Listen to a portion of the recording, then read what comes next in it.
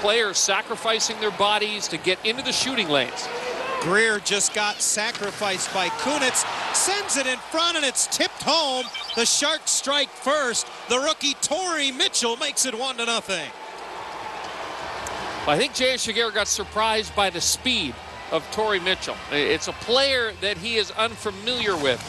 Mitchell's a rookie in this in this league, but he has tremendous outside speed.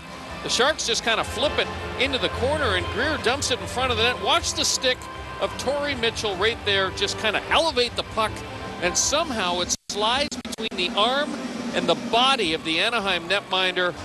Torrey Mitchell's speed creates the opening goal of the hockey game for San Jose.